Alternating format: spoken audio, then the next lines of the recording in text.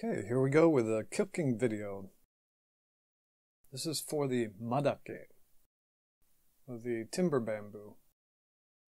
I got this from a friend, Kishindo 2019.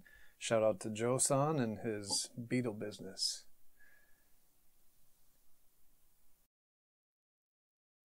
Start by taking off the outer layers of the bamboo shoot and then cutting it up. Obviously, I don't know what I'm doing. This is the first time I've ever used this ingredient. So I'm just suffering through. Trying to figure out what the consistency is. How do you cut this? What parts are edible? I've actually got no idea. So I'm shaving off the green stuff the outer part of the bamboo. I think I put that in the pot anyway. After it's boiled, I should be able to eat everything, right?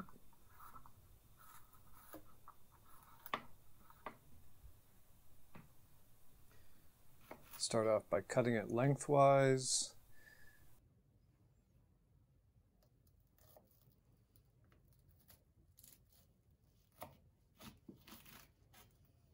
You see there are these little compartments inside the bamboo.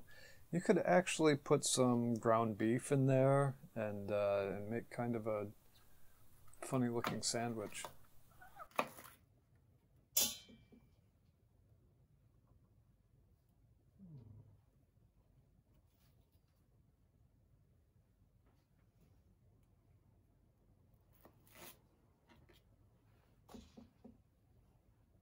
These bigger pieces of the bamboo, I don't know what to do with that. If you have any ideas, let me know.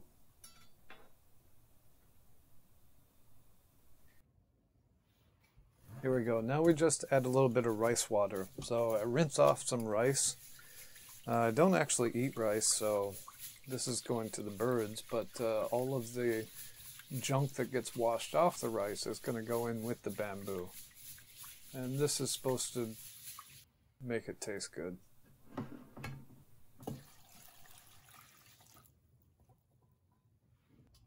Now, here we go. This is the most important part. Just boil it for 20 minutes. Throw in some mushrooms for a little bit of a dashi or umami flavor. Uh, toss in some red hot chili peppers. Just give it a little bit of kick and boil for 20 minutes. Now you have to boil to get the aku out of it. Aku, I think, is lye in English. It's really not present in large enough amounts to upset your stomach, but it's still a toxin and you want to make sure that it's boiled off. And 20 minutes later, there it is. Bubbling nicely. Kikurage is looking good. Now we're on to the fry.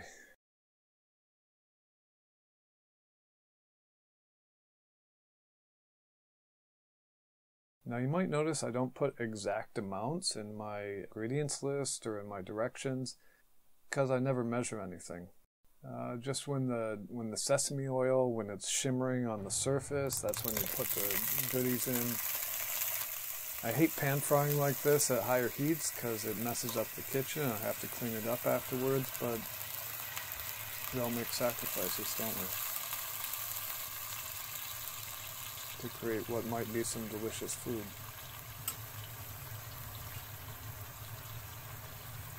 Just get all the ingredients in there. And frying it up good. Now, these shoots are too big. I should have julienned it. I should have cut it up beforehand. you never want to do this. but it's absolutely necessary. I don't want to wait for it to cool off. Just have to cut it up into strips like normal menma looks like. Oh, this is painful.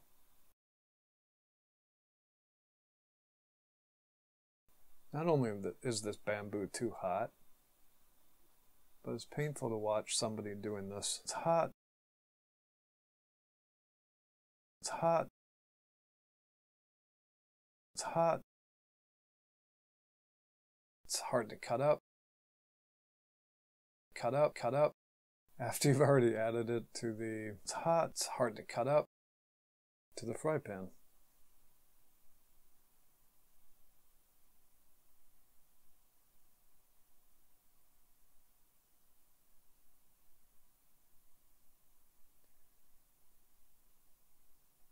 Don't judge me. I'm sure you've all done something like this before.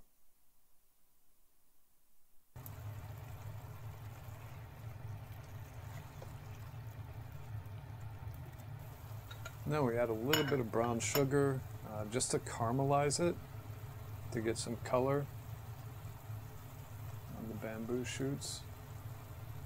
A couple splashes of soy sauce. Get some of that salty flavor in there.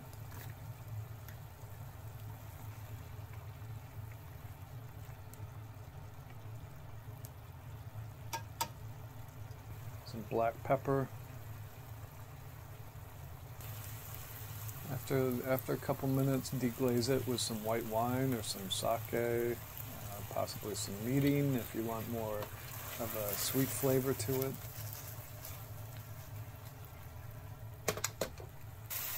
Um, I think that was on the floor. Uh, but I definitely washed it off in water before I put it back in the pan. And now we just